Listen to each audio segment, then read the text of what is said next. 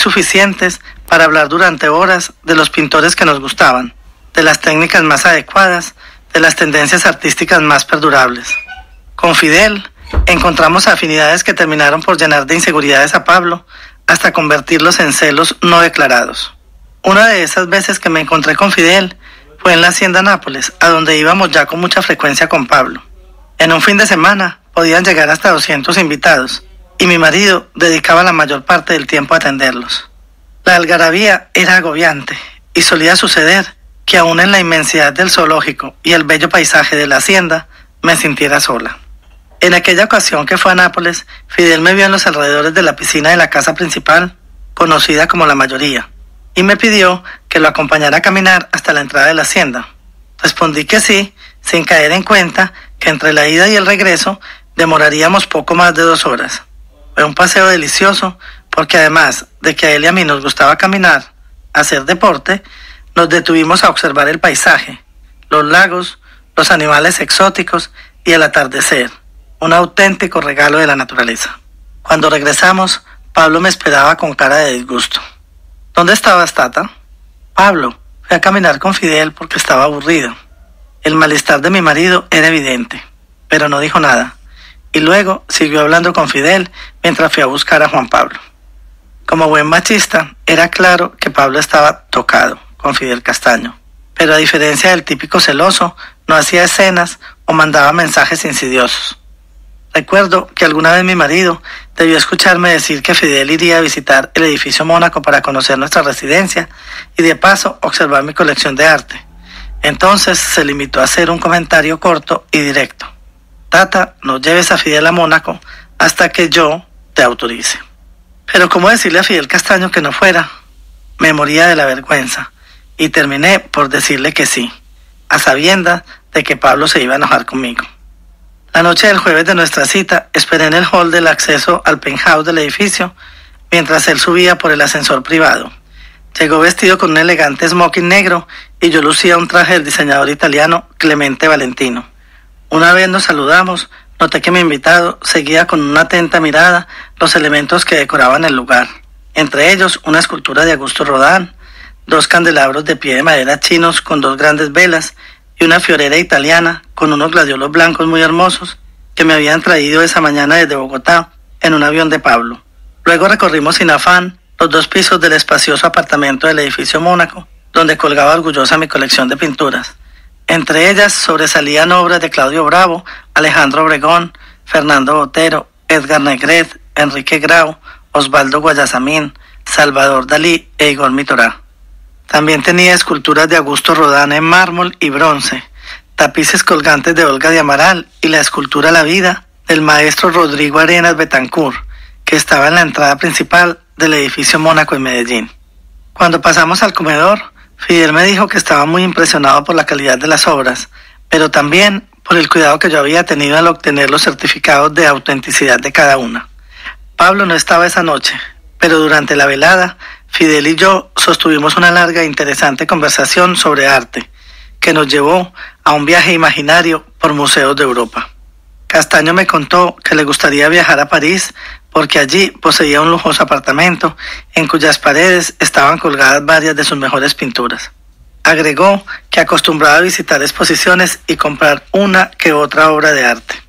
Esto de hablar de pintores, de obras, de museos, no es un alarde de intelectualismo y tampoco busco descrestar a los lectores.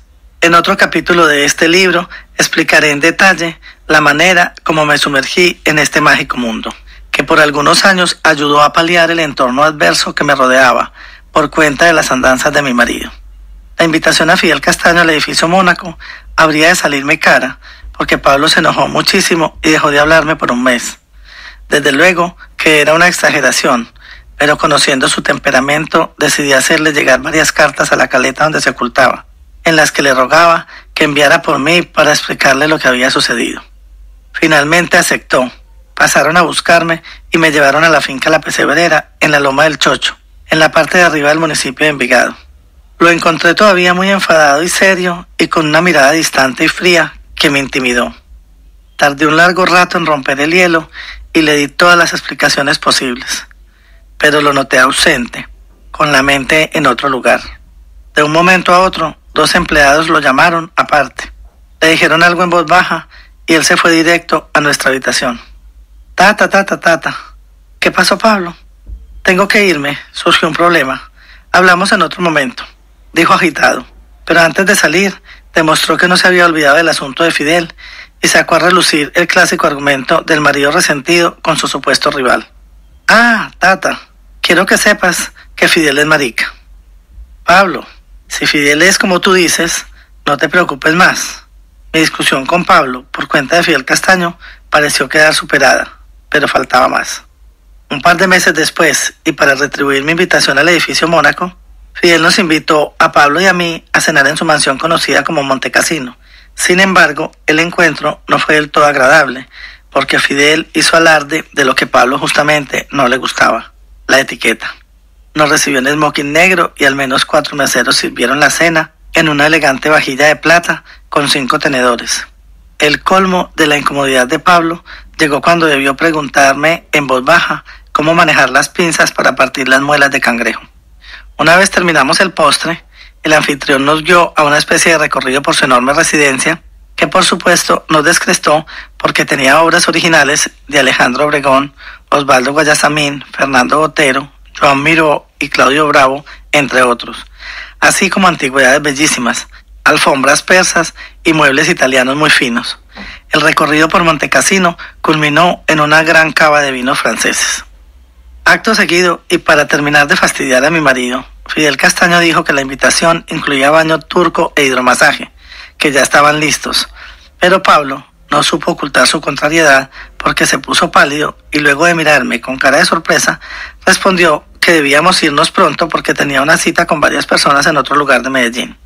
Semanas después, entendí que el gesto de impaciencia de aquella noche se debió a que en ese otro sitio de la ciudad, justo a seis cuadras de nuestra casa, Wendy Chavarriaga, una de sus amantes del momento, esperaba a Pablo en su apartamento. Esa fue una de las últimas veces que vi a Fidel Castaño. Por el azar de la vida, a mí, a la esposa de Pablo Escobar, le correspondía tratar a un hombre sensible, experto en arte, amante de la buena mesa, de finos modales que en nuestros encuentros jamás hizo alusión a sus actividades criminales. Su otra faceta, muy oscura por demás, la conocería tiempo después, la del narcotraficante que había de transformarse en el poderoso jefe de las autodefensas de Córdoba y Urabá, la del promotor de las primeras masacres de campesinos en el país y la del creador del grupo perseguidos por Pablo Escobar, los Pepes.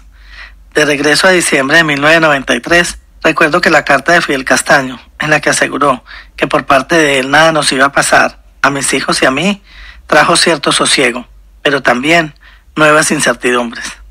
De él no volví a saber nada y tiempo después habría de encontrarme en el camino con su hermano Carlos. Aunque el cruce de mensajes con Fidel fue importante en ese momento, la soledad que vivimos en residencias Tequendama en los días y semanas posteriores a la muerte de Pablo fue espantosa.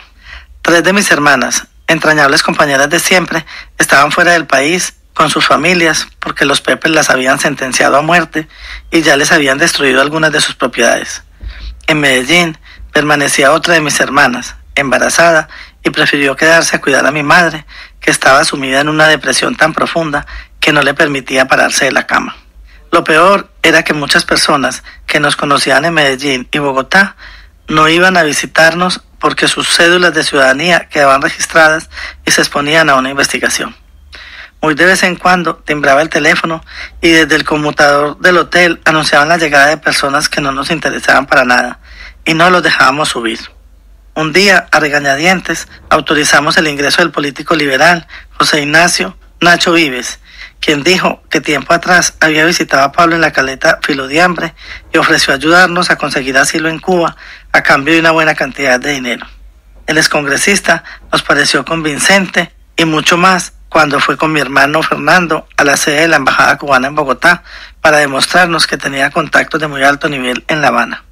Otro día nos invitó a almorzar a su casa y me preguntó si nos gustaba la comida de mar.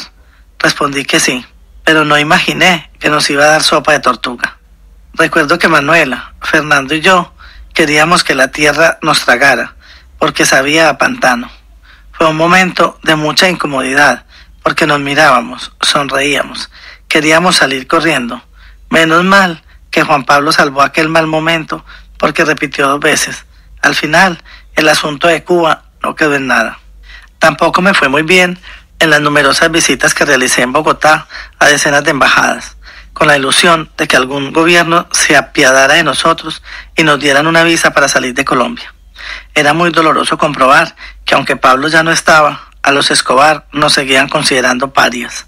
A lo largo de varios meses fui a numerosas embajadas de los cinco continentes, desde España, Francia y Canadá, hasta recónditas naciones de África, donde la respuesta fue siempre la misma. Ustedes son Escobar y no tienen derecho a entrar a este país. Pero yo no me daba por vencida y les decía a los funcionarios consulares que estaban actuando injustamente porque ni yo ni mis hijos teníamos antecedentes penales y tampoco era justo que nos hicieran pagar por los errores de Pablo Escobar. Pero la respuesta era más denigrante aún. Señora, simplemente no tienen derecho a ingresar a este país. También le pedí ayuda a la Cruz Roja Internacional, pero me quedé esperando una respuesta. En mi desespero por encontrar una salida a nuestra situación, llegué al extremo de llamar por teléfono al expresidente Julio César Turbay, padre de la periodista Diana Turbay, asesinada tras haber sido secuestrada. Recuerdo esa llamada como si fuera hoy. Señor presidente, habla con Victoria Eugenia la viuda de Pablo Escobar. Siento mucho lo que pasó, pero lo llamo para pedirle que por favor me ayude a salir del país que me colabore con algún contacto, porque nos van a matar a mis hijos y a mí, y tenemos que irnos como sea. Señora, ¿cómo se le ocurre llamarme a mí? Es que su marido me mató a Dianita. Acuérdese de Dianita. Acuérdese de Dianita. Señor presidente, tiene toda la razón, pero no tengo la culpa de las locuras que hizo mi marido. Ayúdeme, tengo una hija y un adolescente. Bueno, señora, muy a pesar del dolor que su marido le produjo a esta familia, le voy a ayudar. Agradecí el gesto y de verdad esperé que el expresidente Turbay tuviera compasión de nosotros, pero en las siguientes semanas lo llamé varias veces y ya no pude comunicarme más con él. Días enteros se me fueron en la calle buscando salidas para mi familia, con el agravante de que el encierro hacía mella en mis hijos. Manuela me llamaba llorando todo el tiempo y Juan Pablo me rogaba que regresara porque tenía temor de que algo me pasara. La tristeza y el dolor eran nuestro pan de cada día pero de un momento a otro el teléfono empezó a sonar y desde el conmutador anunciaban la llegada de mujeres que decían venir a nombre de los principales lugartenientes de Pablo, aquellos que se sometieron por segunda vez a la justicia tras fugarse de la cárcel de la catedral en julio de 1992. Las visitas se dieron una tras otra, en días distintos, y por ello debimos acondicionar una pequeña habitación como sitio de reunión. Allí hablé con las esposas o compañeras de Luis Carlos Aguilar, alias Mugre, Otoniel González, alias Soto, y Carlos María Alzate, Urquijo, alias Arete, entre otros muchos. El mensaje que ellas traían era más preocupante porque los capos de los carteles de Cali y Medellín que perseguían a Pablo les exigían grandes cantidades de dinero como indemnización por lo que invirtieron en la guerra contra mi marido.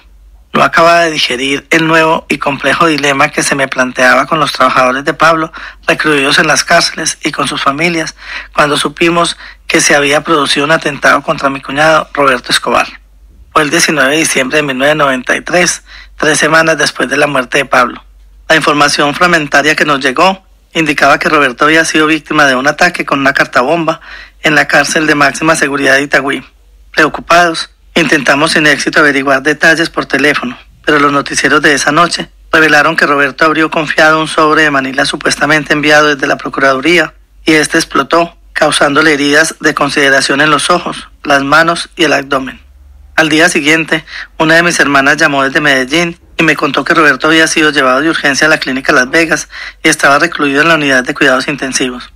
Pero el centro asistencial carecía de equipos de oftalmología que se necesitaban para operarlo, y por ello decidimos trasladarlo al Hospital Militar Central de Bogotá, porque disponía de mejores herramientas tecnológicas y además ofrecía garantías de seguridad, pues circulaba el rumor de que los autores intelectuales del atentado habían dado la orden de rematarlo donde se encontrara. Sin pensarlo dos veces, ofrecí pagar los gastos del traslado de Roberto a Bogotá en un avión ambulancia, cuando constatamos que ya se encontraba en el hospital militar. Juan Pablo y mi hermano Fernando se dirigieron al centro asistencial, Regresaron casi 12 horas después y me preocupé al verlos llenos de incertidumbres por las muchas cosas que habían sucedido en el hospital. Según su extenso relato, tuvieron que esperar cerca de dos horas en la unidad de cuidados intensivos hasta que un médico salió y les informó que era indispensable extraer los dos ojos de Roberto porque habían resultado muy afectados por la onda expansiva de la bomba. Pero Juan Pablo y Fernando se negaron a firmar la autorización requerida para legalizar el procedimiento y por el contrario le pidieron al especialista que hiciera lo necesario para evitar que Roberto perdiera la visión de por vida. El médico asintió y la operación se prolongó cerca de 90 minutos.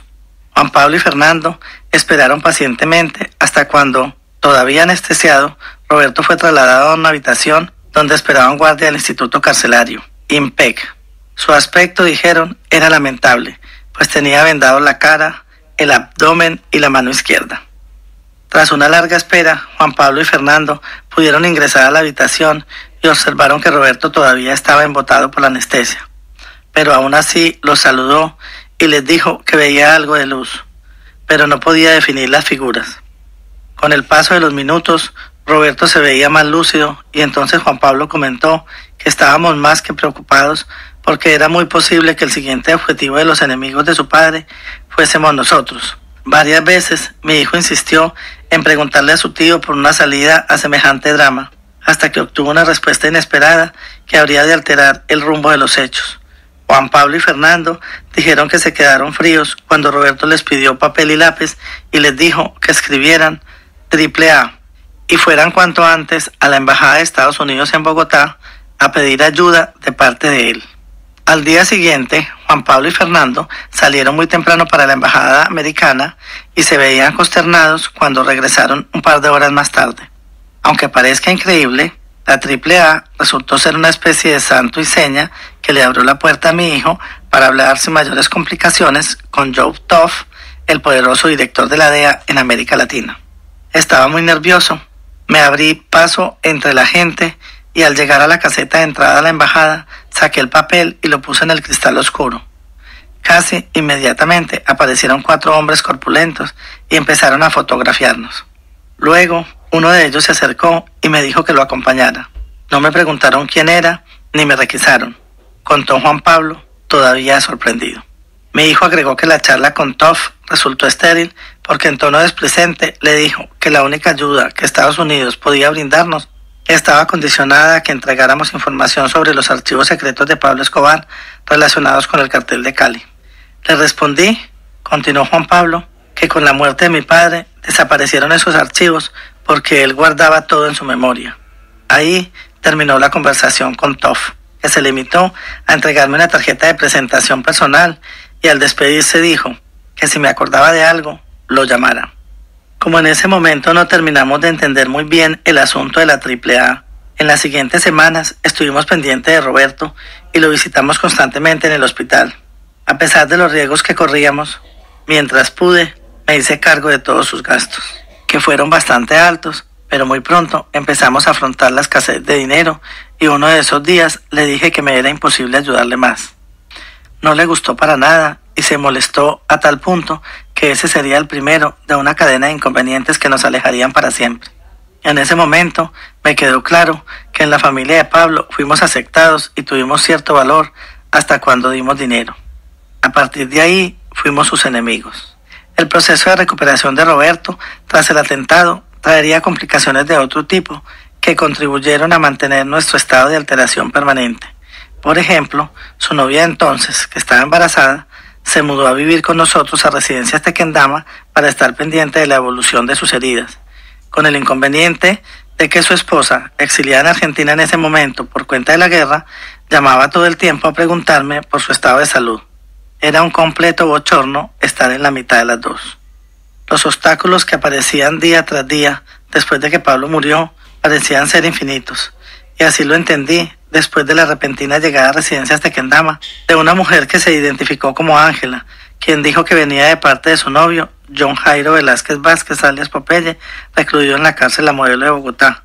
En una charla de menos de 10 minutos me notificó que Popeye mandaba decir que yo debía visitar en ese penal al narcotraficante Iván Urdinola Grajales porque era portador de un mensaje de los capos del cartel de Cali.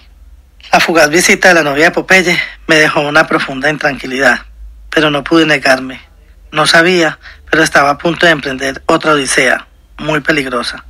La búsqueda de la paz con los jefes de los carteles del narcotráfico que vencieron a mi marido. Tampoco tenía idea de que en pocas horas comprendería que continuar con vida dependería del botín que les entregara a los enemigos de Pablo. No hubo mucho tiempo para meditar la conveniencia de meterse o no a la boca del lobo, porque en las siguientes semanas y con la cooperación de la Fiscalía, que gestionaba los permisos, fui a los pabellones de alta seguridad de las cárceles La Modelo y La Picota de Bogotá e Itagüí Antioquia, donde me encontré con una aterradora realidad que ameritaba un manejo muy cuidadoso o de lo contrario los vientos de la guerra se agitarían de nuevo. Al primero que visité en su celda de la modelo fue a Ordinola, el capo del cartel del norte del valle, quien me saludó de manera cordial, pero no perdió la oportunidad para hablar muy mal de Pablo, a quien calificó de monstruo de la peor calaña. Luego me dijo que era muy importante que yo fuera a Cali a hablar con los capos Miguel y Gilberto Rodríguez, porque pese a que Pablo había desaparecido, mi situación y la de mis hijos no estaban definidas. Para no entrar en una discusión innecesaria, preferí no comentar las opiniones de Urdinola sobre mi marido muerto, pero sí le dije que justamente había ido a hablar con él porque estaba interesada en pasar la página y sellar la paz de manera definitiva con todos aquellos que intervinieron en la guerra. Estuvo de acuerdo y preguntó cómo era nuestra situación económica. Respondí que afrontábamos dificultades porque no teníamos dinero en efectivo y no era fácil disponer de las propiedades que dejó Pablo porque estaban decomisadas o en manos de terceros, y también habían muchas otras de las que ya no teníamos idea. En todo caso le dije, con el Estado y nuestros enemigos respirándonos en la nuca, era muy difícil monetizar muchos de esos bienes, porque obviamente estaban bajo sospecha por provenir del narcotráfico. Lo que sí tenía en mis manos, agregué, eran algunas obras de arte que estaba dispuesta a vender y le mencioné en concreto un cuadro del pintor Alejandro Obregón. Me preguntó cuánto valía y cuando le di un valor aproximado en dólares, estuvo de acuerdo en comprarlo. Una vez terminé de hablar con Ordenola, aproveché la ocasión para conversar con otros reclusos como Popeye, Otto y Giovanni, quienes quejosos aseguraron que les hacía falta dinero para mantener a sus familias y pagarle a los abogados que los defendían en los múltiples procesos en la fiscalía. Me llamaron la atención las inquietudes de los hombres de Pablo, porque hasta donde tenía entendido, ellos habían acumulado un buen capital por cuenta de la generosidad de su jefe, que les retribuía muy bien todas las acciones ilegales que ejecutaban. Aún así, les respondí que no se preocuparan, que me encargaría de asumir esa responsabilidad una vez entrara en contacto con los caleños, como les decíamos a los capos del valle. La carga emocional de ese día habría de terminar en forma inesperada cuando se acercó un hombre alto, delgado, a quien tardé en reconocer porque lo había visto en un par de ocasiones hacía ya muchos años. Se trataba de Jairo Correa Alzate, un antiguo socio de Pablo en el Magdalena Medio, que luego se convirtió en su feroz enemigo. Hablamos un rato en términos cordiales, sin mencionar el pasado, y se notaba que sabía en detalle lo que había pasado con nosotros en los últimos tiempos. Vea, señora, estoy convencido de que es muy importante que vaya a Cali a solucionar las cosas. No tarden en hacerlo, dijo a manera de consejo. La charla franca y amena con Correa habría de terminar con el ofrecimiento de que su esposa Claudia y su pequeña hija nos visitaran residencias Tequendama para pasar una tarde con nosotros. La oferta se cumplió muy pronto y la niña de Correa logró que mi hija Manuela olvidara por varias horas la pena que la embargaba.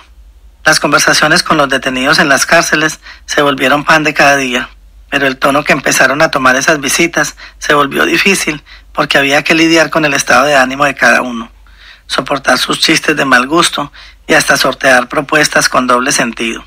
Me sentí muy mal, pero no había nada que hacer. Y a ese ambiente cargado de mala energía empezó a contribuir la familia de Pablo, porque un día, cuando salía de la cárcel de alta seguridad de Itagüí, me encontré con doña Armilda, quien me dijo, en su habitual estilo distante y seco, Tata, Usted tiene el dinero de Pablo.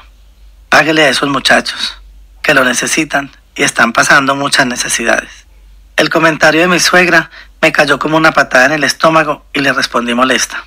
Doña Hermilda, Pablo nunca me entregó dinero para guardarle, y mucho menos para entregarle a sus muchachos. Él sí me dijo que iba a dejar un dinero en manos de Roberto. Era el único que gozaba de protección porque estaba en la cárcel. Eso de decirle a los detenidos que yo tenía el dinero guardado empezó a generarme graves problemas porque las llamadas se multiplicaron y las exigencias se hicieron cada vez mayores. Sentí que mi vida otra vez estaba en serio peligro.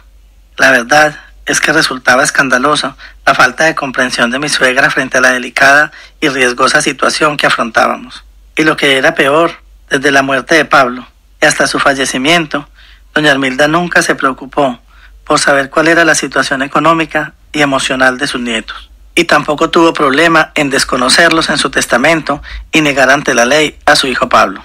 Por fortuna, la madeja empezaría a desenredarse de la manera más inesperada. En la tarde del 12 de febrero de 1994 nos anunciaron desde la recepción la llegada de Alfredo Astado, un pariente lejano que hacía varios años se había radicado en alguna ciudad de Estados Unidos, a donde escapó con su familia. De él se sabía muy poco y por eso su repentino arribo era sinónimo de tormenta. Del caluroso saludo pasamos rápidamente al motivo por el cual había regresado al país sin avisarle a nadie. Alfredo, por Dios, ¿qué te pasó? ¿Por qué estás acá? Le pregunté asustada. Su razón era muy poderosa. Mira, Tata, estaba en mi casa cuando entró una llamada a mi celular y cuál sería mi desconcierto cuando el hombre que hablaba se identificó como Miguel Rodríguez Orejuela. Casi sin saludar, me dijo que necesitaba que yo fuera a Cali inmediatamente. Sin salir del estupor, atiné a responderle que solo podía ir a Colombia en dos o tres meses, pero él, cortante, dijo que me daba cuatro días de plazo o de lo contrario me buscaría a su manera. Por esa razón estoy aquí, pero no sé para qué quieren que vaya donde ellos.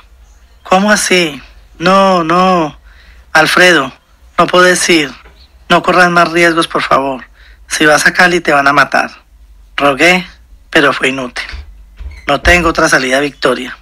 Muy pocas personas tenían mi teléfono celular y los Rodrigos lo consiguieron.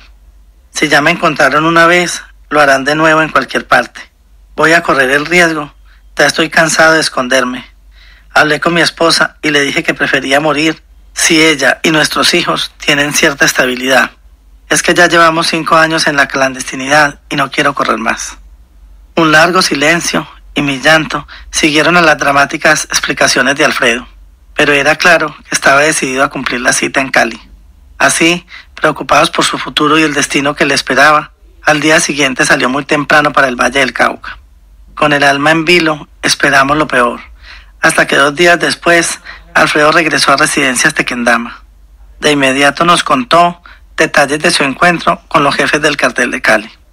Siguiendo las instrucciones de ellos, me alojé en el Hotel Intercontinental y horas después me recogió un hombre que me llevó a una lujosa casa en el barrio Ciudad Jardín, donde estaba Miguel y Gilberto Rodríguez Orejuela, y tres personas más. Miguel tomó la palabra y dijo que sabía muchas cosas de mí y que yo podía contribuir a acabar la guerra porque había muerto mucha gente inocente. Agregó que querían terminar la confrontación y por eso me pedían hablar con la viuda de Pablo Escobar para buscar un acercamiento. Entendí que no tenían intenciones de pelear y por eso hasta propuse ir a Cali contigo y con Juan Pablo. ¿Y qué dijeron? Apenas dije eso, Gilberto Rodríguez estuvo de acuerdo en hablar contigo, pero de tajo descartó a Juan Pablo y lo hizo con la siguiente. Él come como un pato, camina como pato, es un pato, es igualito a Pablo. Él es un menor de edad con el que no podemos llegar a ningún acuerdo.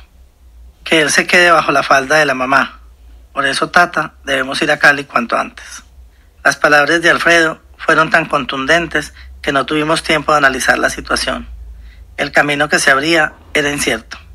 Pero por primera vez, desde la muerte de Pablo, había surgido algún tipo de opción para nosotros. Los enemigos de mi marido habían ganado la guerra y no teníamos otro camino que buscar la manera de encontrar un lugar en este mundo. Una vez más, ante mis hijos, tuve que mostrarme fuerte, pero por dentro estaba muerta de miedo. La decisión de ir a Cali estaba tomada, pero ahora surgía otro problema. ¿Cómo salir de residencias Tequendama sin ser descubierto por un centenar de soldados, policías, detectives del DAS y agentes del CTI, la DIJÍN y la SIJÍN que nos custodiaban? Luego de descartar varias opciones, Encontramos que la psicóloga era perfecta porque podría simular durante tres días seguidos que asistía al hotel a continuar el intenso tratamiento que adelantaba con nosotros. Por fortuna, ella aceptó realizar la pantomima, luego de explicarle en detalle el difícil momento que nos esperaba. La estrategia funcionó porque fingimos encerrarnos en una larga jornada de trabajo para enseñarme a manejar la depresión. Nadie sospechó nada. A las 10 de la noche estuve lista para salir. Después de que Manuela se durmió profundamente, Juan Pablo y Andrea quedaron muy preocupados, pero conscientes de que el paso que íbamos a dar era inevitable. Tenía el corazón en la mano, pues no sabía si volvería a verlos. El silencio en el hotel era sepulcral, y con el paso de los minutos aumentaba el dolor por la ausencia de mi marido y la sensación de impotencia por tener que enfrentar una realidad incierta. Cerré los ojos y las lágrimas rodaron por mi rostro cuando cerré la puerta para dirigirme a la escalera de incendios, la única ruta de escape segura. Bajé los 29 pisos a pie, pero sentía que las piernas no me respondían. Era como si una fuerza extraña me alara de los hombros para impedir mi salida. Finalmente llegué al primer piso y bajé al parqueadero del hotel donde me esperaba Alfredo en un auto que había alquilado. Me acomodé en la parte de atrás del vehículo y logramos sortear las áreas de vigilancia de los sótanos del viejo e inmenso hotel. Ya estábamos afuera y la aventura apenas empezaba. Increíble. Cinco organismos de seguridad del Estado nos vigilaban centímetro a centímetro y esa noche ninguno se dio cuenta de que escapábamos. Contarlo ahora es fácil, pero tal vez en aquel momento no me di la dimensión del lío en que me estaba metiendo. Sin saberlo, en poco tiempo tendría frente a frente a las protagonistas de las muchas guerras contra mi marido. Tenía 33 años de edad. Estaba viuda, con dos hijos, y convencida de que la única posibilidad de preservar nuestras vidas era lograr que los capos del narcotráfico colombiano me escucharan, que se apiadaran de nosotros. Me acompañaba el amor por mis hijos, estaba dispuesta a defenderlos, como las leonas defienden a sus cachorros. Las ocho horas que tardó el recorrido fueron eternas, llenas de preguntas, de incertidumbre. ¿Regresaría con vida? ¿Cómo sería la vida de mis hijos sin mí? se los devorarían después los enemigos de Pablo. Dios, esta pesadilla se detendrá algún día. Viviremos para contarlo. La incertidumbre era tal y mis suspiros tan constantes que Alfredo apenas me miraba compasivo.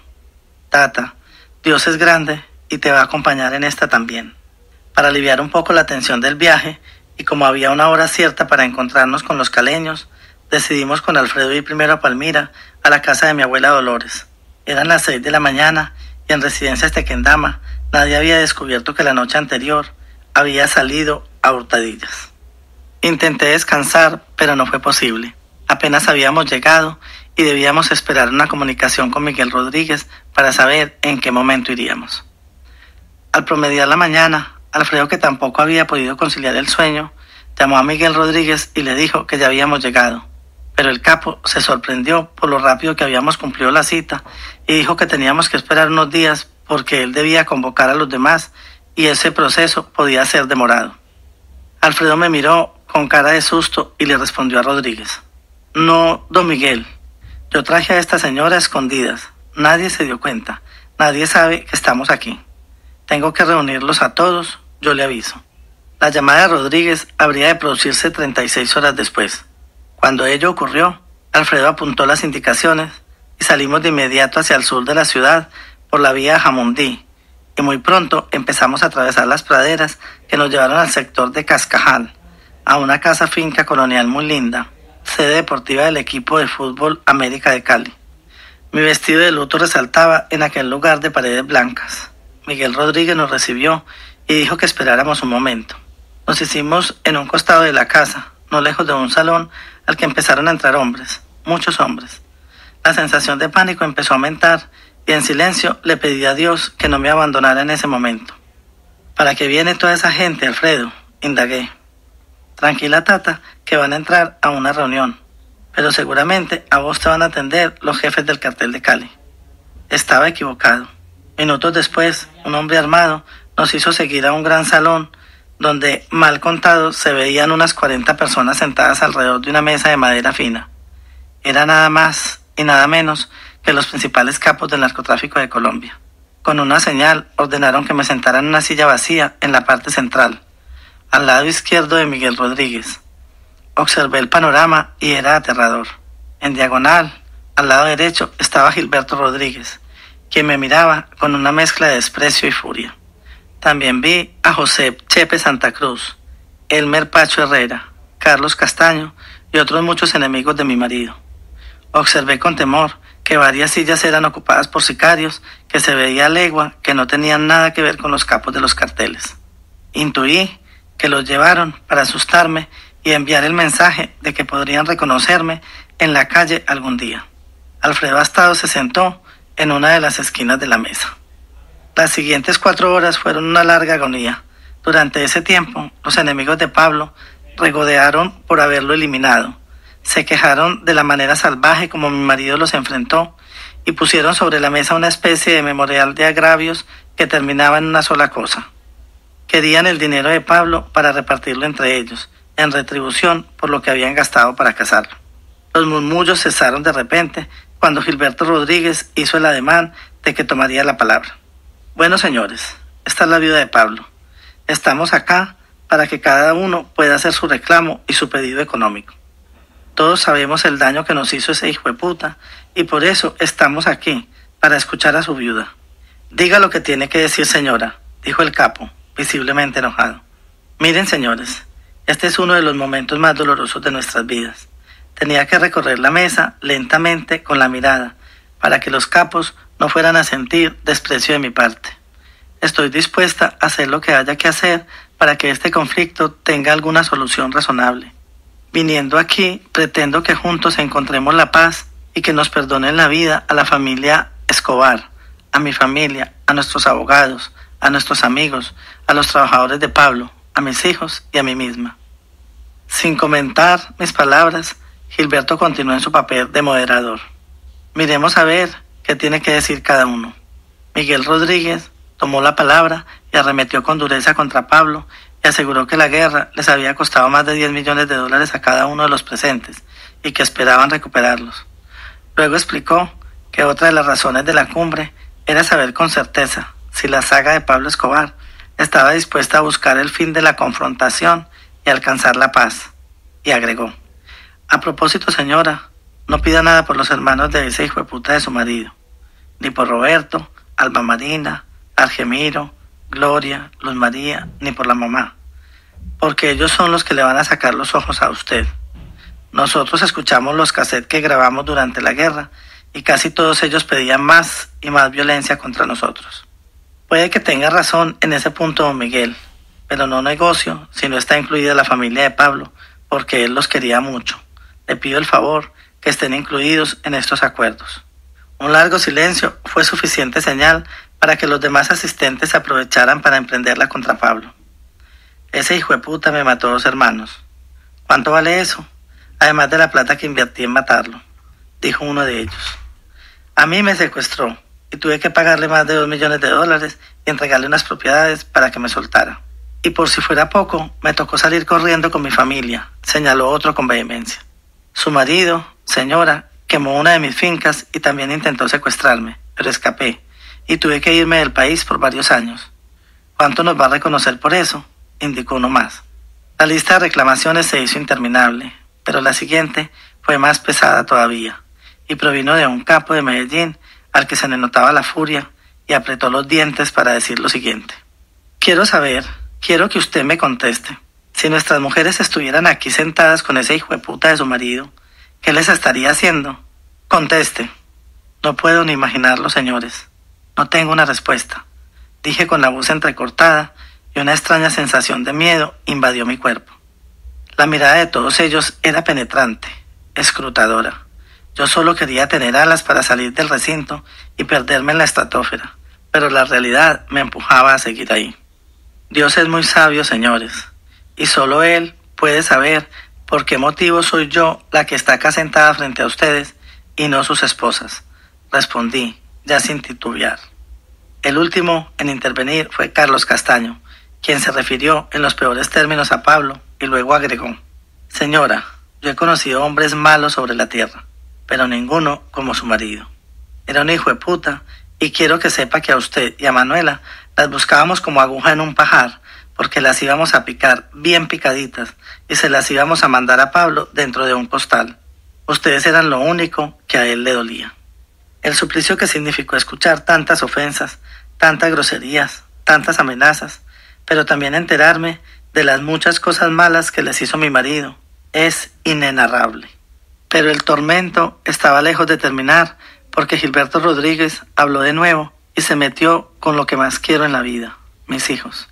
Mire señora, aquí los presentes podemos hacer la paz con todo el mundo, menos con su hijo. Sabía que ese momento iba a llegar, pero no estaba preparada. La sola mención de Juan Pablo me llenó de temor y no pude evitar el llanto. Aún así, no me quedé callada.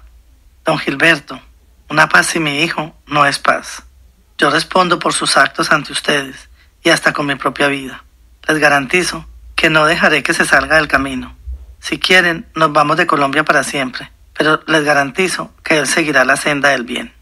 Señora, entienda que aquí hay un temor justificado de que Juan Pablo quede lleno de plata y se enloquezca un día de estos, armando combos y empiece a guerrear.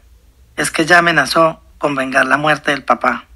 Por eso, nuestra consigna es que solo las mujeres queden con vida. Y va a haber paz, pero a su hijo hay que matarlo. La sentencia de muerte me dejó sin alientos. Muchas cosas pasaron por mi mente en fracciones de segundos y pensé que lo mejor era que nos mataran a todos para no sufrir más. ¿Para qué seguir viviendo si matan a mi hijo?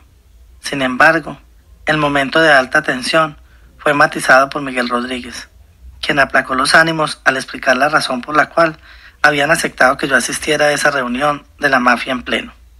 Usted está sentada ahí porque nosotros escuchábamos sus conversaciones y siempre buscaba solucionar las cosas. Nunca le dijo a su marido que continuara la guerra, que nos matara. Al contrario, siempre le pedía, le lloraba, le suplicaba que hiciera la paz con nosotros. Es más, en algún momento usted envió un mensajero para buscar una cita con nosotros para buscar la paz, pero supimos que Pablo no la dejó venir. Pero, ¿cómo es posible que usted apoyara incondicionalmente a ese animal? ¿Cómo se le ocurrió escribirle cartas de amor a ese hijo de puta que le fue tan infiel? Nosotros deberíamos poner a nuestras esposas a escuchar lo que usted decía en las grabaciones para que aprendan cómo es que una mujer debe apoyarlo a uno. Quiero pedirle que les dé clases a nuestras mujeres de cómo amar y cuidar a sus maridos, a pesar de las infidelidades. Los demás capos asintieron con la cabeza en gesto de aprobación. Luego, Miguel Rodríguez cerró el encuentro con una sentencia como si fuera un juez. Señora, necesitamos que hable con Roberto Escobar y con los sicarios que están en las cárceles para que paguen. A Roberto le corresponden 5 millones de dólares y los detenidos de a 2 millones de dólares cada uno. Usted nos debe a todos algo así como 120 millones de dólares y vaya pensando cómo los va a pagar, pero en efectivo. Los esperamos dentro de 10 días con una respuesta seria y concreta. Con todo y la dureza de las cosas que dijo, durante varios momentos del encuentro sentí que Miguel Rodríguez me miraba con compasión con solidaridad. Esa sensación me produjo cierto alivio justo cuando me embargaba la desesperanza. La cumbre terminó y yo me animé a decir unas últimas palabras. Bueno, señores, confiemos en la sabiduría de todos para que les podamos devolver la paz y la tranquilidad a nuestras familias. Me comprometo a trabajar con el pedido de ustedes y regresaré en 10 días con una propuesta de pago. Salimos para Palmira a reportarnos con mis familiares pero el temor de que algo pasara nos hizo regresar a Bogotá sin detenernos en ningún lado. Me sentía impotente porque en medio de tanto odio era claro que Juan Pablo no tenía posibilidad alguna de sobrevivir. Lloré inconsolable la mayor parte del viaje y sentía un dolor muy grande en el alma. Un abismo se abría a mis pies. Cuando por fin llegamos a Residencias Tequendama, no fui capaz de contarle a Juan Pablo que su vida no estaba incluida en los acuerdos con los caleños. Pasaron varios días sin que tuviera el coraje de decirle lo que estaba pasando y solo me quedaba encomendarme a Dios y pedirle que les abriera el corazón a los capos para que me escucharan, para que creyeran que estaba dispuesta a dar mi vida si mi hijo se desviaba del camino del bien. La tarea de armar el rompecabezas de las propiedades de Pablo era urgente y por eso llamé al abogado Francisco Fernández, el mismo que años atrás me había asesorado cuando fui a buscarlo porque estaba decidida a separarme de Pablo. aunque se mostró muy prevenido por la complejidad del tema por el que lo buscaba ahora, el jurista aceptó representarme y lo primero que hizo fue visitar al fiscal Gustavo de Grave para hacer un diagnóstico de mi situación. De regreso el abogado pintó un panorama peliagudo. Dice de Grave que estos señores de Cali quieren una retribución directa porque gastaron muchos millones de dólares en la guerra y dice que si la familia no paga, matarán a todos los lugartenientes de Pablo que estén en la cárcel. El fiscal también dice que los Pepes tienen mucho poder y el gobierno no se puede dar el lujo de permitir que los antiguos miembros del ala terrorista de Pablo estén siendo masacrados. Resumió el abogado y yo quedé colgada en el techo y absolutamente convencida de que debíamos cumplirle a los Rodríguez. Como el plazo para regresar con la lista de bienes era corto, empezamos a elaborar un balance de las propiedades de Pablo, así como de las pocas obras de arte mías que se habían salvado. Con Juan Pablo, siete abogados del bufete del doctor Fernández y un par de asesores contables, pasamos horas recopilando datos, al tiempo que yo visitaba las cárceles para preguntarle a los presos porque no conocíamos buena parte de las posesiones que Pablo había adquirido en varios lugares del país. La tarea se complicó aún más porque mi marido llegó a comprar más de un centenar de caletas que les escrituraba a las personas de confianza que lo cuidaban en la clandestinidad. Aún así, logramos procesar varias planillas que llevaría la segunda cita a Cali para que cada uno de los capos escogiera con qué propiedad prefería quedarse. No podemos arriesgarnos a mentir ni ocultar nada, pues era conocido que los Pepes ya tenían toda la información porque muchos de ellos fueron amigos o socios de Pablo. Sin embargo, en forma extraña, un listado más completo de las propiedades de Pablo llegó a manos de los capos de Cali antes de que yo viajara a reunirme con ellos. Con sorpresa confirmé que la familia de Pablo lo había enviado a escondidas, con lo cual quedamos en una notoria desventaja.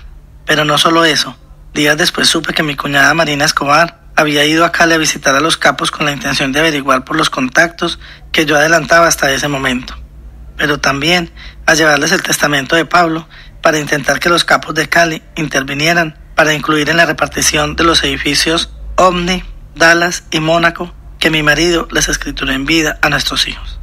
Aún hoy me cuestiono el comportamiento de los tíos de mis hijos, porque mientras yo suplicaba que se les respetaran la vida, ellos atentaban continuamente contra la nuestra. Y lo que es peor, su intención era lograr que los jefes de los carteles desconfiaran de mí y mataran a mi hijo. Justo en medio de ese momento difícil con la familia de mi marido, dos hombres que dijeron representar a la familia Moncada y Galeano me citaron a varias reuniones en Bogotá porque les surgía mirar las propiedades, obras de arte o antigüedades que yo les había de entregar para cerrar los acuerdos. Andrea, la novia de mi hijo, me ayudaba a escapar de los agentes del CTI que nos cuidaban en el barrio Santana, a donde nos habíamos trasteado a mediados de marzo de 1994, pese a las protestas de los vecinos, y me dejaba cerca de la dirección a donde debía llegar, casi siempre a las 8 de la noche. Luego, ella iba a caminar en un centro comercial cercano, pero casi todas las veces sucedía que cerraban el lugar, y como yo seguía en reunión, le tocaba dar vueltas y vueltas hasta que la llamara. Andrea lloraba inconsolable, preocupada porque el riesgo que yo corría en cada uno de esos encuentros con los capos o con sus representantes. Mientras tanto, adentro yo pasaba muy mal porque la presión era muy intensa y no hacían sino insultar a Pablo y calificarlo de monstruo. Tomaban whisky y sin parar, y cuando me ofrecían, yo les decía que el licor no me gustaba y solo tomaba agua.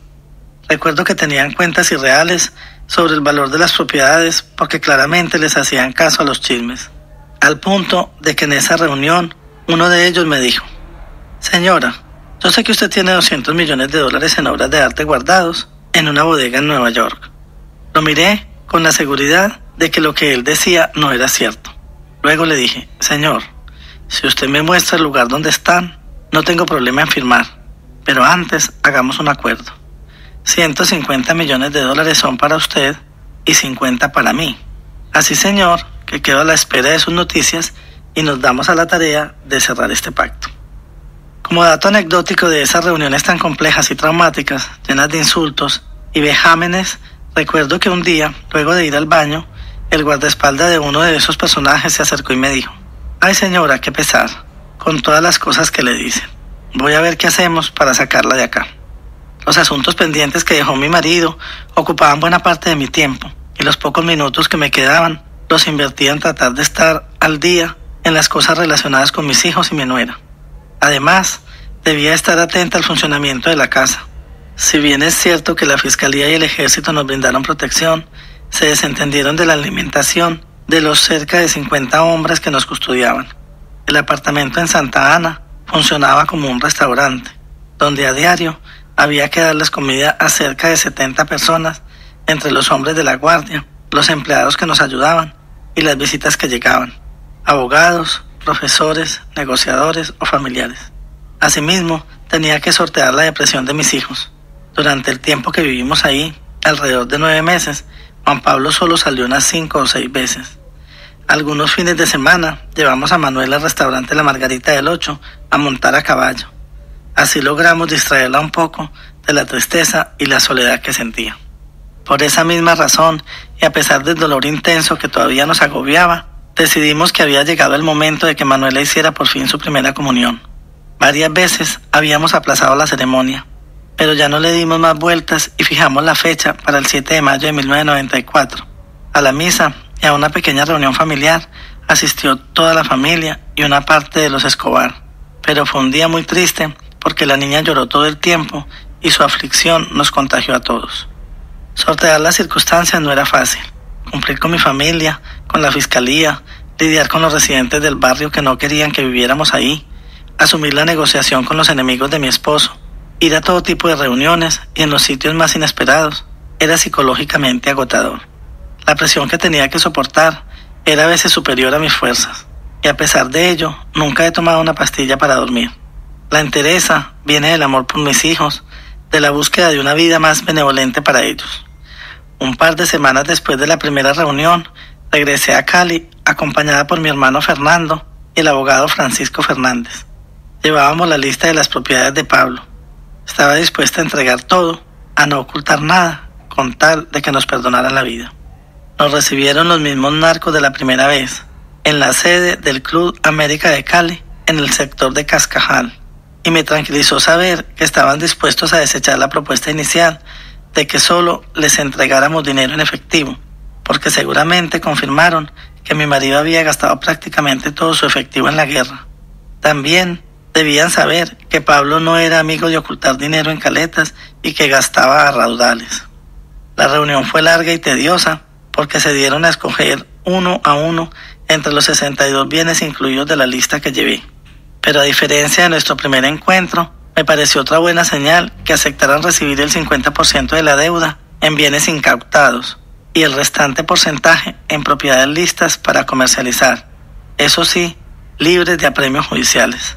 Eso de apropiarse de bienes emproblemados tenía una explicación. Sus conexiones en las altas esferas del Estado les ayudarían a lavar los bienes de Pablo, dejando por fuera a sus herederos, lo que evidentemente sucedió. Para resumir, en este crucial encuentro con los enemigos de Pablo, entregué un lote de nueve hectáreas que Ale o el fantasma, así le decían a Carlos Castaño cuando integraba los Pepes, exigió por orden de Fidel Castaño. El extenso y costoso terreno estaba pegado a la mansión de Montecassino, con lo cual Fidel amplió su poderío económico. También cedí al menos una docena de lotes en lugares céntricos de Medellín, donde años después fueron construidos algunos lujosos hoteles y costosos centros comerciales. El listado de bienes incluía igualmente un complejo de torres de apartamentos en el poblado, cerca de la Loma del Tesoro, adquirido por Pablo en la década de los 80.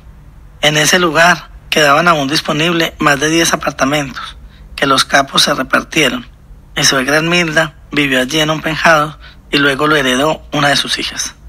En el inventario quedó incluida una finca en los llanos orientales de la que jamás le escuché hablar a Pablo.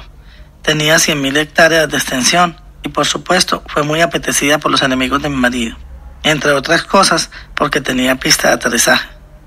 En la rapiña por los bienes de Pablo no podían faltar aviones, helicópteros, decenas de vehículos, entre ellos varios Jaguar, BMW y Mercedes-Benz, motos de alto cilindraje, lanchas y jet ski. Y aunque había entregado muchas propiedades, tenía claro que no eran suficientes para cubrir la descomunal cifra de 120 millones de dólares que pretendían los capos.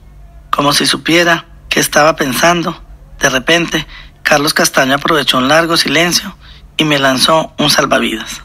Señora, yo tengo el Dalí suyo, rock and roll, que vale más de 3 millones de dólares.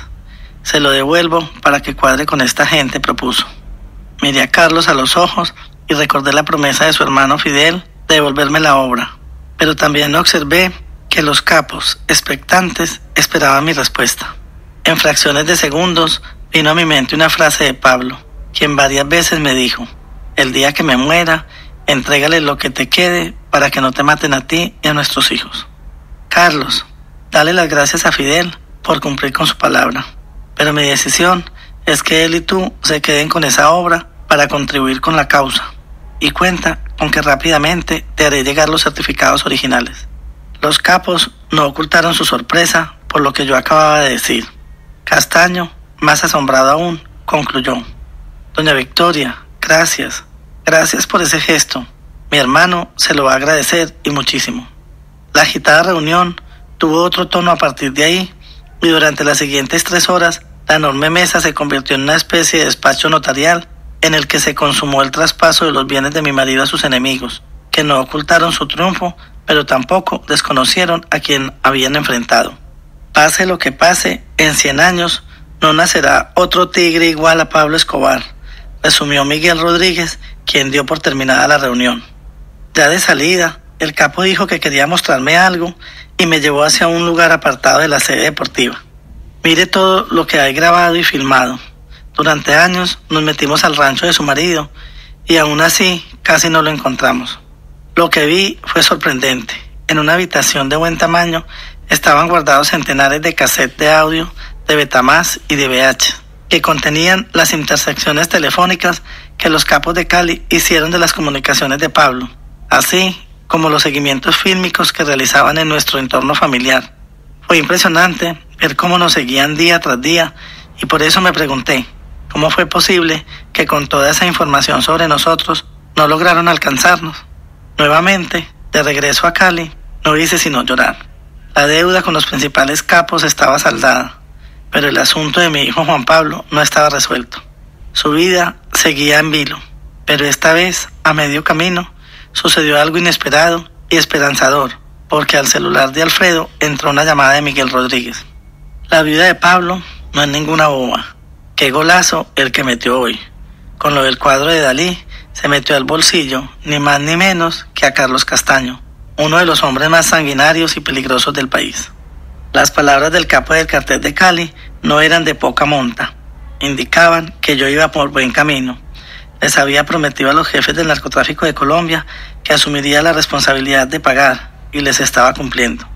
Un poco más aliviada por el positivo cambio de actitud de los caleños, continué mis charlas con Carlos Castaño, quien seguía paso a paso el proceso de entrega de los bienes de Pablo.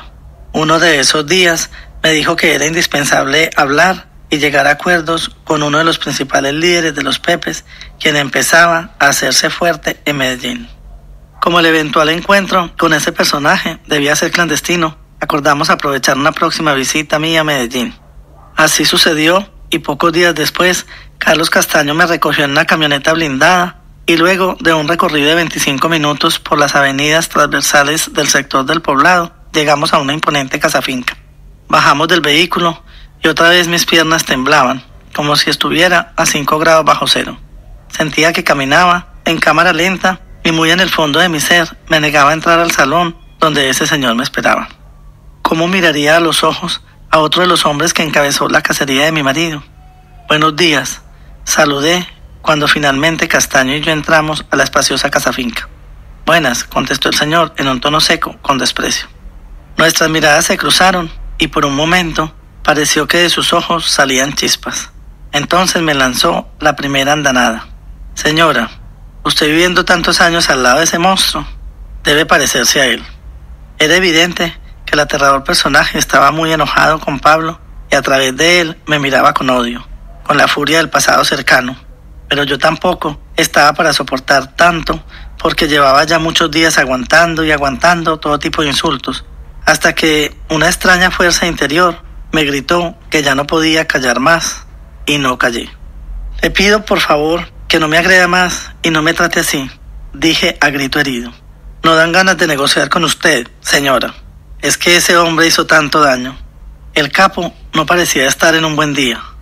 Asustada, miré hacia el gran ventanal que tenía enfrente y observé que cerca de 20 hombres caminaban muy lentamente alrededor de la piscina con potentes fusiles. Y respondí, las guerras son despiadadas, señor. Fíjese, mataron a mi hermano Carlos, que era inocente. Nunca intervino en guerras ni en narcotráfico y era un trabajador incansable. Señora, una equivocación. Y con equivocación y todo, ¿quién devuelve vivo a mi hermano? Su marido es el responsable de todo. Si por mí fuera, volvería a levantar ese hijo de puta de la tumba y lo mataría de nuevo. En una guerra hay responsabilidades de parte y parte. Lo que ocurrió es una locura total, una falta de conciencia sin límites, repliqué. La conversación no iba para ningún lado, y así debió percibirlo Carlos Castaño, quien intervino para apaciguar las aguas. Escúcheme, estamos acá para terminar con estos problemas de una vez por todas, pero parece que quieren continuar con esta guerra. A ver pues, doña Victoria, solucionemos esto. El momento era más que complicado porque estaba al frente de un hombre que después de la muerte de mi marido había adquirido un gran poder en Medellín y el Valle de Aburrá. Por fortuna, ahí estaba Carlos Castaño y decidí aprovechar su presencia. Mire, señor, estoy acá reconociendo que ustedes ganaron la guerra y vine a pedirle que nos perdone la vida a mis hijos, a la familia de Pablo, a la mía, a los trabajadores, a los abogados y a mí.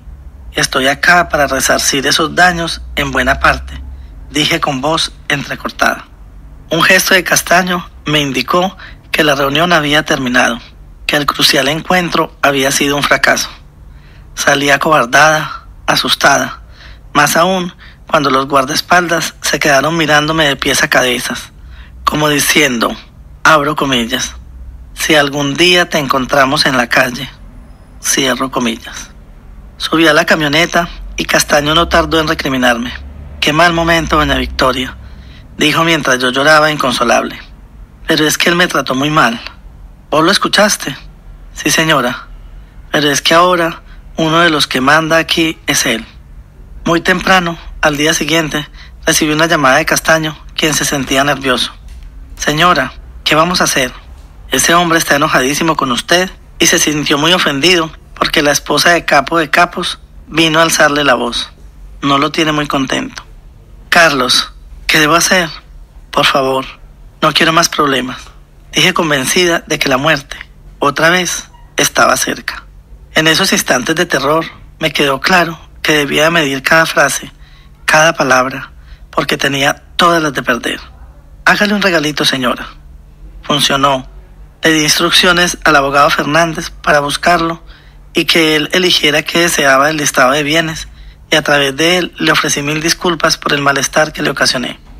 Señora, quedó muy conforme y dijo que dejáramos atrás aquel mal momento, resumió Castaño, y por fin pude respirar con cierta tranquilidad.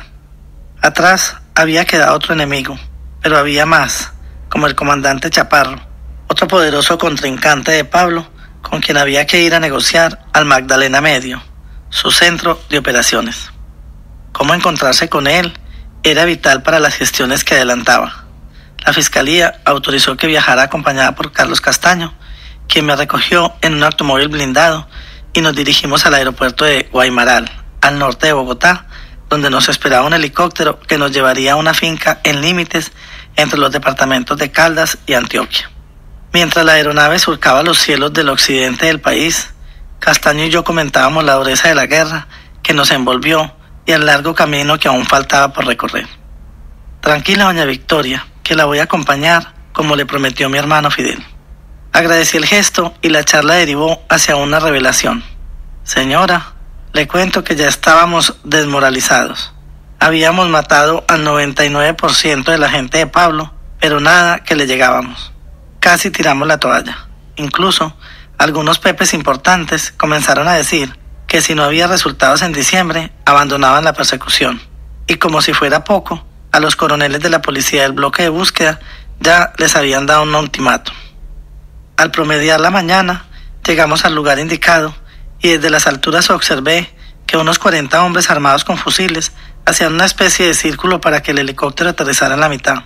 Sentía que el aire me faltaba. parecían el pelotón de fusilamiento que esperaba la fatídica orden de apunten, fuego, ya, para acribillar a su víctima. Así me sentía.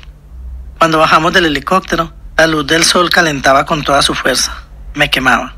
El susto me dio tiempo para tomar un segundo aire y rezar. Abro comillas.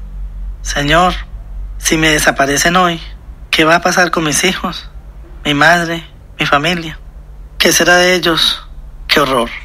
Tenía que sacar fuerzas de donde no tenía para que no se percataran de mi pánico y mis miedos.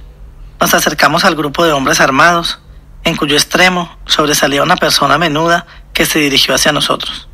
Castaño me presentó al comandante Chaparro y este a su vez a su hijo, quien portaba un potente fusil. Este me saludó frío, distante. Luego de hablar de cosas intrascendentes durante algunos minutos, Castaño fue al grano. Comandante, ella está dispuesta a solucionar todos los problemas con usted y lograr la paz. Póngale precio a todos los daños que usted tuvo.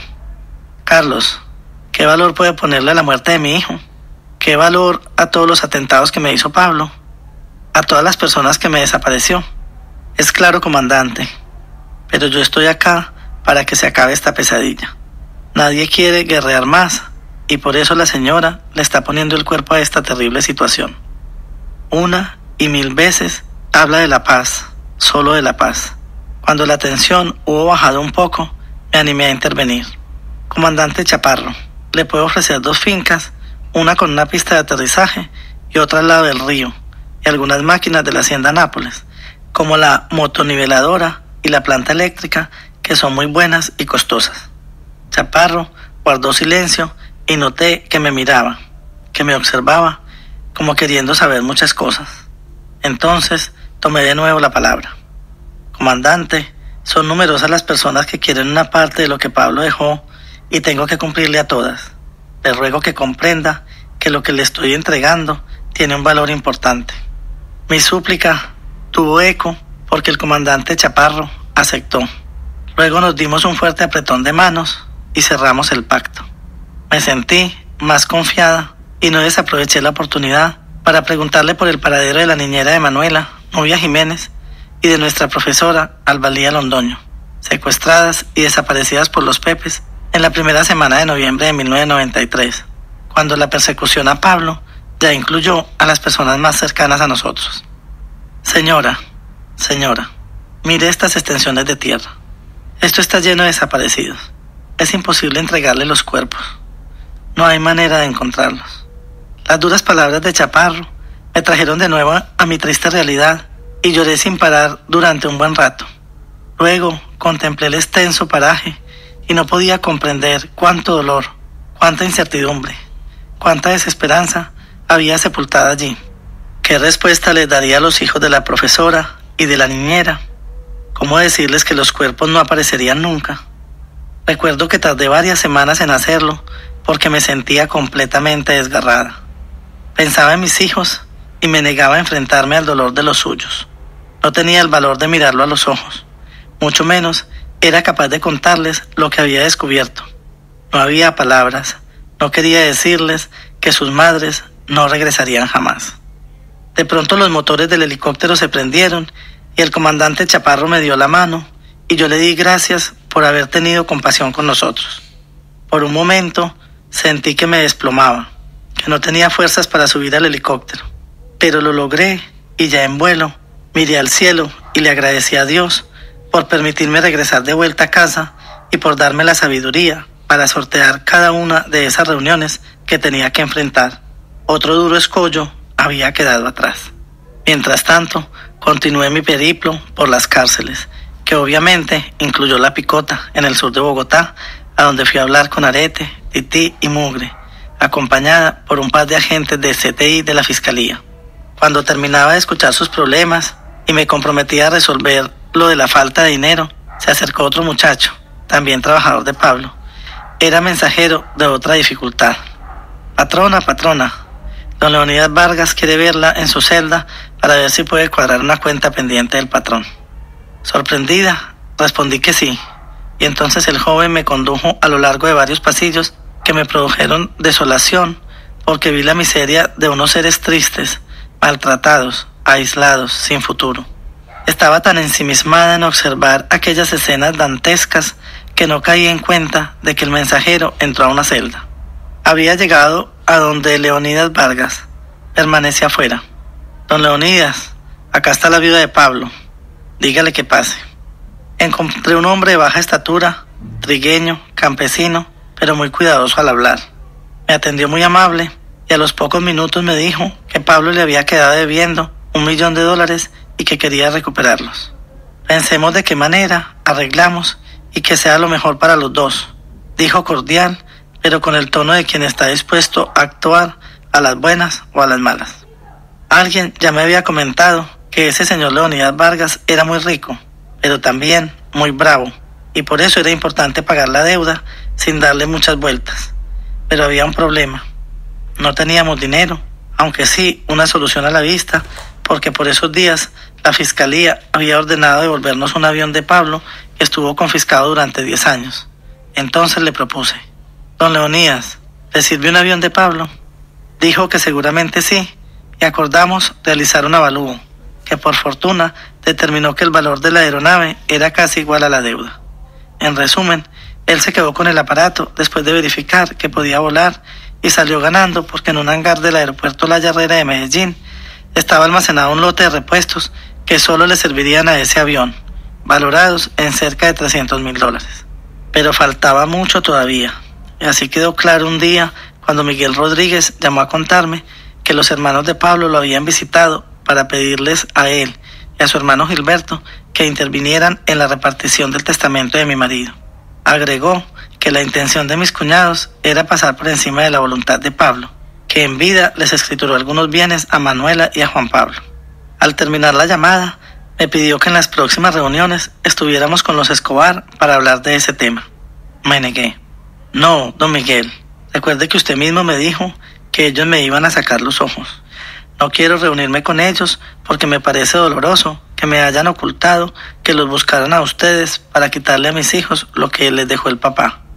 Señora, hágalo por mí, que he puesto la mejor voluntad para acompañarla en este proceso. Así que ahora le toca escucharme. Está bien, don Miguel.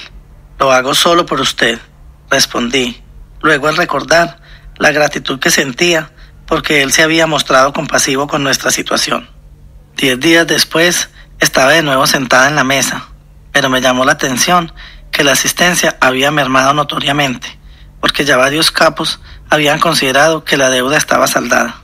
No obstante, este nuevo encuentro tendría como ingrediente adicional la discusión sobre la vida de mi hijo, y Gilberto Rodríguez lo dejó en claro recién empezaba la reunión. Señora, no se preocupe, que después de esto va a haber paz, pero a su hijo sí lo vamos a matar.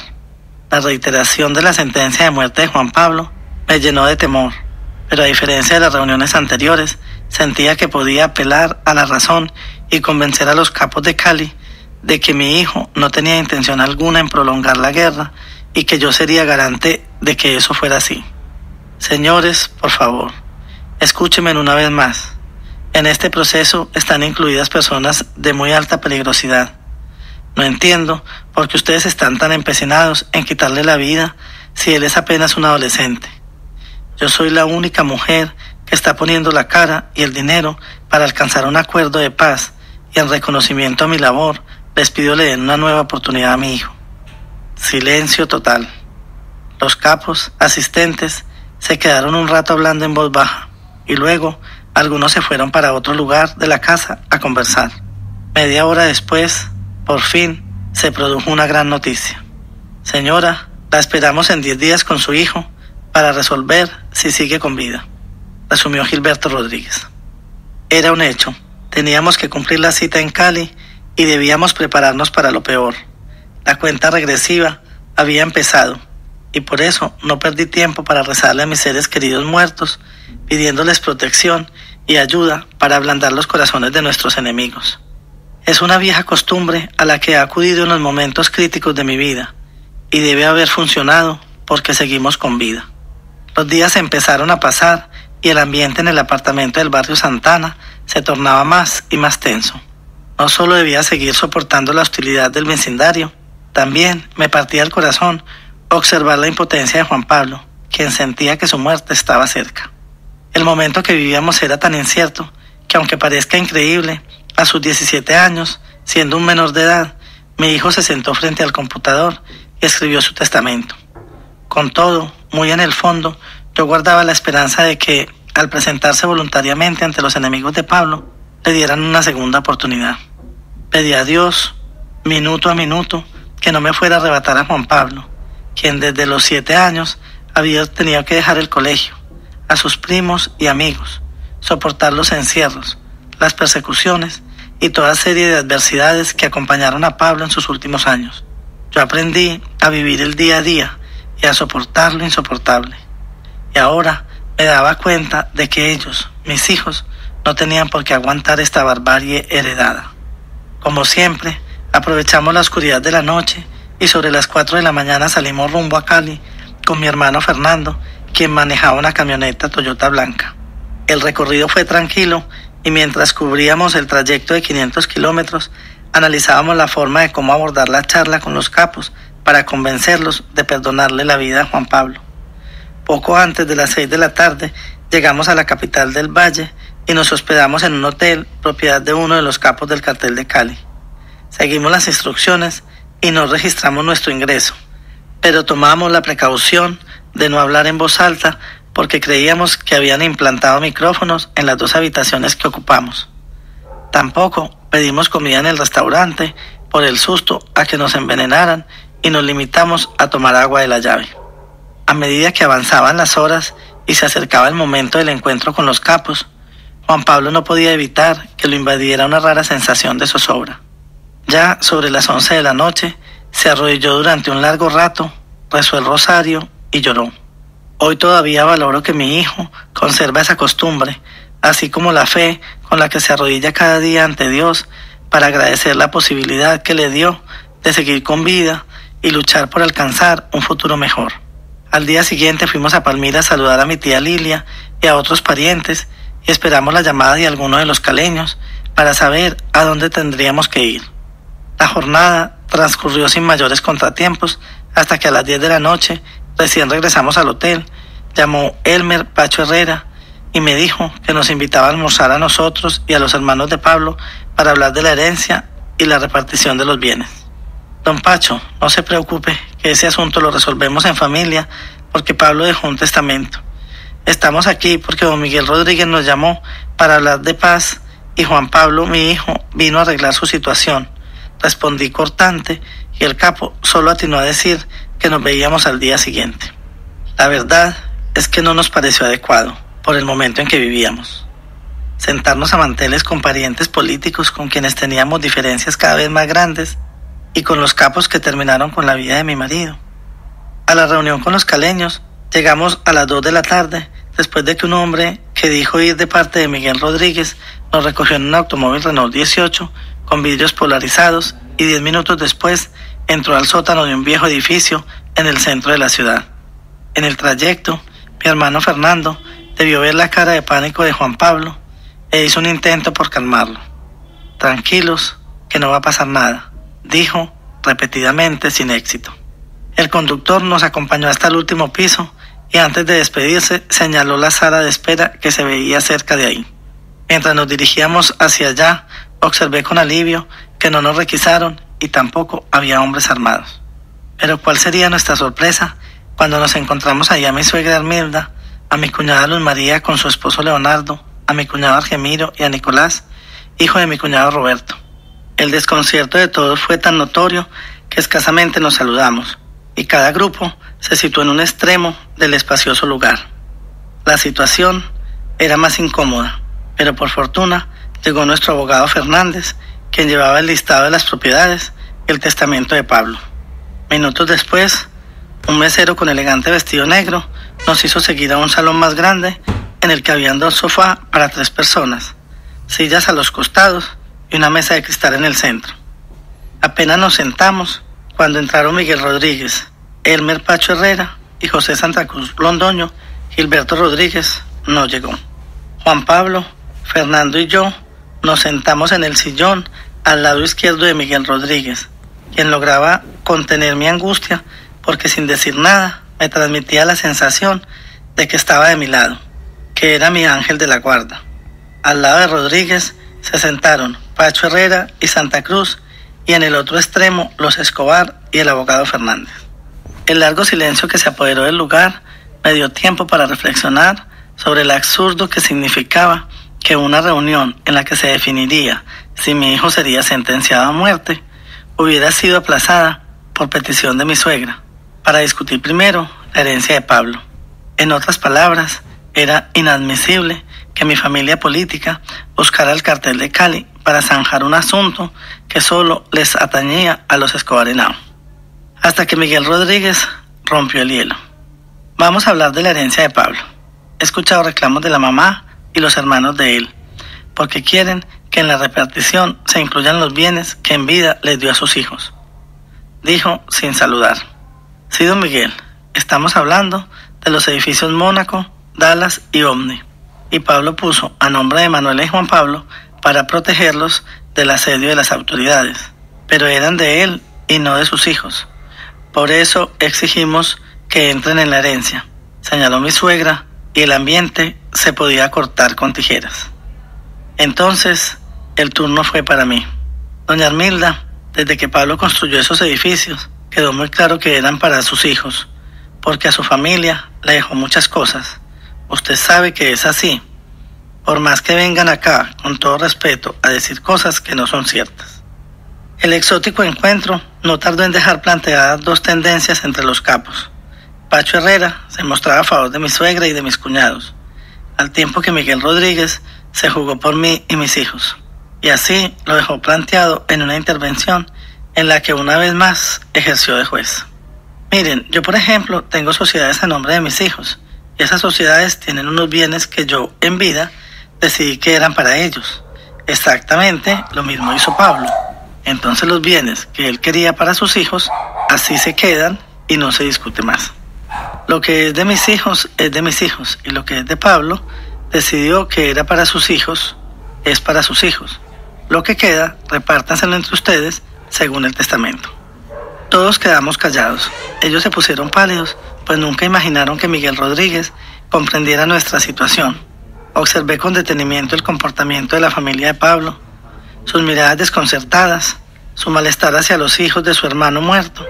Le pedía la vida que aunque fuera por un instante, Pablo mirara a los ojos a sus parientes. En mi corazón de madre sabía que estaba defendiendo lo que les correspondía. Como dice el adagio popular, lo que va mal siempre es susceptible de empeorar. Sucedió después de la sentencia de Miguel Rodríguez y corrió por cuenta de Nicolás Escobar, quien hizo una pregunta que terminó la reunión. Un momentico, Tata. ¿Y entonces qué vamos a hacer con los 10 millones de dólares que mi tío Pablo le quedó viendo a mi papá? porque aquí todos sabemos que mi papá era el que sostenía a Pablo. Tras la descabellada acotación, don Miguel me miró a los ojos, malicioso, luego sonrió y guiñó el ojo en señal de desaprobación. También me di cuenta de que Juan Pablo se molestó con el comentario de su primo y no aguantó las ganas de intervenir. Oigan a este, esa nadie te la cree, Nicolás. Los pájaros resultaron tirándole a las escopetas. Ahora resulta también que tu papá sostenía el mío. No jodas. Miguel Rodríguez, Pacho Herrera y Chepe Santa Cruz sonrieron. Luego se levantaron de las sillas y salieron hacia el fondo del salón y no se despidieron de los Escobar. Como un resorte, me paré del sofá y me fui detrás de ellos y les pedí que nos dieran cinco minutos para que hablaran con Juan Pablo, a quien le hice un gesto para que se acercara. La hora cero había llegado. Ellos asintieron se sentaron en otra sala y cruzaron los brazos, como queriendo decir, hable pues o calle para siempre. Juan Pablo entendió el mensaje y dijo, Señores, vine aquí porque quiero decirles que no tengo intenciones de vengar la muerte de mi papá. Lo que quiero hacer, y ustedes lo saben, es irme del país para estudiar y tener otras posibilidades diferentes a las que hay acá.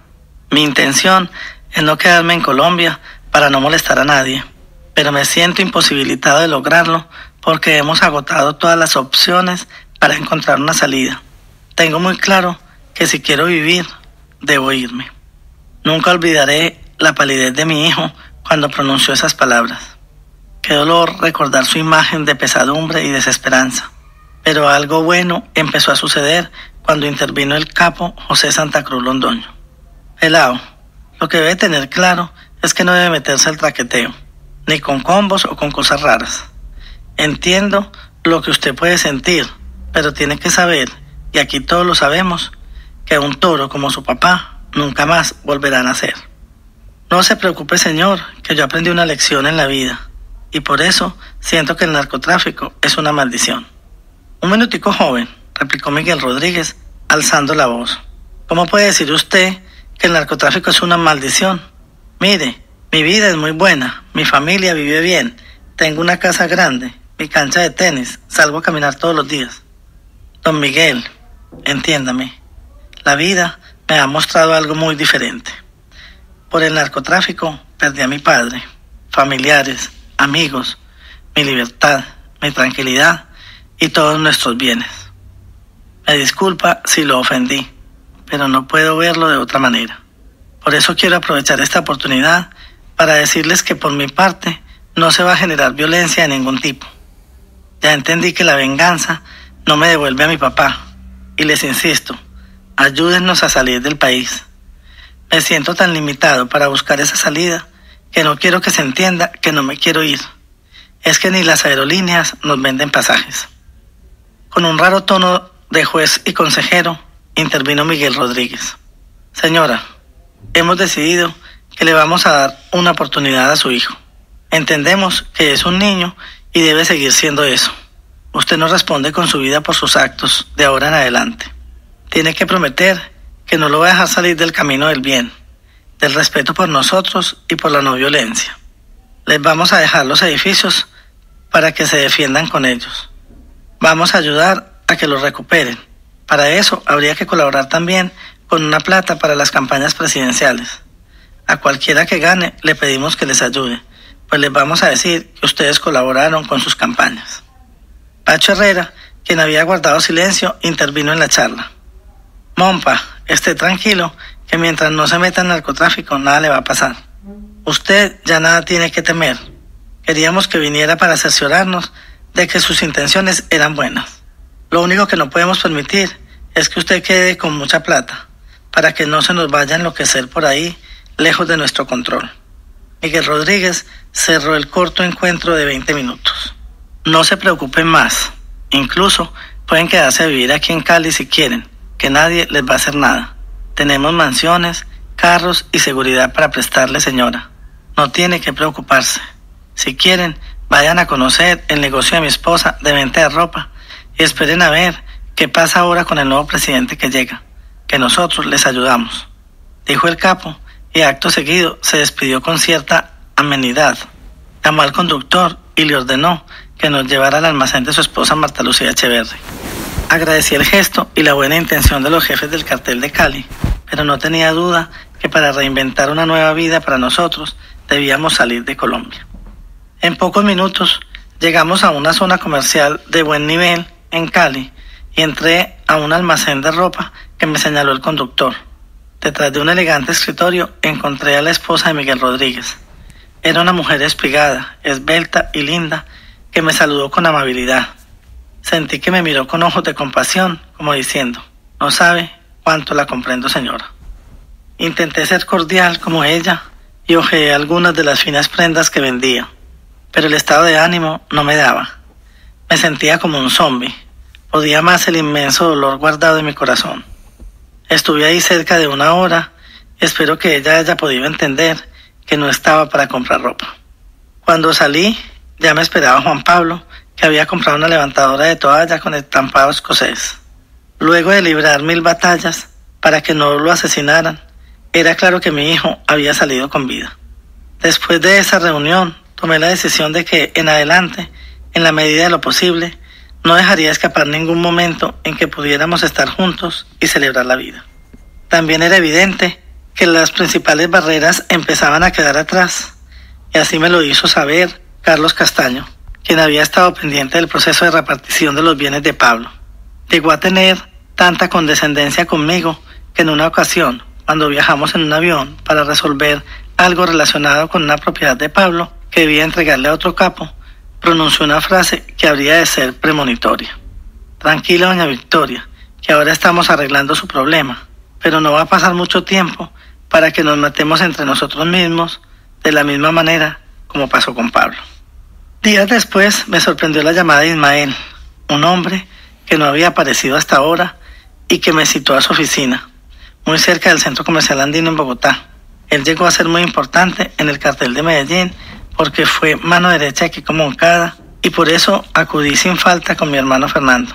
Lo encontré en una elegante oficina bellamente decorada y sobre el escritorio una costosa botella de whisky que apuró en las seis horas que duró la conversación. No exagero al decir que el 80% del tiempo se fue en los insultos de Ismael a mi marido por los horrores que había cometido en la guerra, porque había perdido todos los valores, porque se había dejado influir demasiado por sus hombres por los atentados terroristas. Su marido estaba loco, loco señora. A medida que avanzaba la noche e Ismael consumía largos tragos de whisky, llegó el momento de la verdad. Oiga señora, usted se va a morir si no entrega lo que le voy a pedir. Entonces mi hermano saltó como una fiera. Usted también se va a morir, Ismael, ¿o es que cree que va a vivir toda la vida? La inesperada reacción de mi hermano fue tan contundente que Ismael se quedó callado y bajó la mirada. Por eso quise tanto a Fernando, porque fue una gran compañía, un hombre conciliador que nos acompañó sin vacilaciones. Todavía hoy siento su ausencia porque su adicción a las drogas y sus enfermedades terminales lo llevaron a la muerte el 16 de junio del 2014. Lo cierto es que al cabo de dos o tres reuniones más, Ismael se quedó con los bienes que pidió de Pablo y se los entregué sin chistar, porque además de influyente en su organización, era muy peligroso. Al final de los accidentados encuentros, Ismael me ofreció disculpas por la muerte de mi hermano Carlos, el mayor a quien los Pepes asesinaron el 2 de junio de 1993, cuando llegaba a Medellín, proveniente de Cartagena. Me dijo que habían sido amigos y que sabía que no se había involucrado en nada de lo que hacía Pablo. También me dijo que cuando se dio cuenta de que Carlos había sido secuestrado, hizo varias llamadas intentando evitar que lo asesinaran, pero cuando logró comunicarse, ya era tarde. Para resumir, a finales de agosto de 1994, llevábamos ocho meses en el desgastante agite que he narrado a lo largo de este capítulo. En ese momento, habíamos entregado la totalidad de los bienes que dejó Pablo, salvo los edificios Dallas, Mónaco y Omni, porque según los acuerdos le pertenecían a mis hijos, hasta que el Estado se quedó con ellos. Resuelto el asunto de la entrega de los bienes de Pablo, tanto a los carteles como a la familia Escobar, Ahora deberíamos concentrarnos en nuestro futuro, que invariablemente era salir del país. Era nuestra única opción. Pero, ¿a dónde? Sobre el tapete habían algunas posibilidades, pero eran muy inciertas. En esas estábamos cuando de manera sorpresiva me citaron de nuevo a Cali porque habían surgido algunas dudas sobre la documentación que soportaba la propiedad de un avión y un helicóptero de Pablo. Como siempre, viajé a tiempo y llegué a la sede del Club América de Cali en Cascajal donde se encontraban unas 40 personas, diría que las mismas de la primera vez.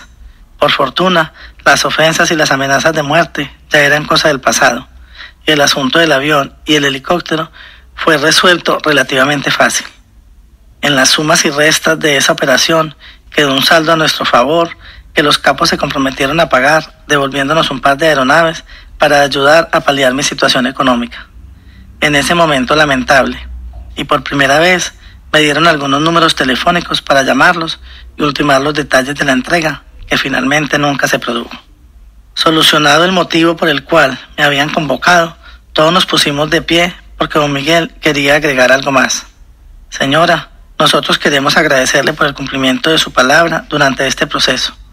Nos sentimos respetados por usted y usted se ha ganado nuestro respeto. Nadie dijo nada más. Nos dimos la mano con cada uno de los capos, que en voz baja reconocieron el cuidado que yo había tenido a lo largo de la negociación.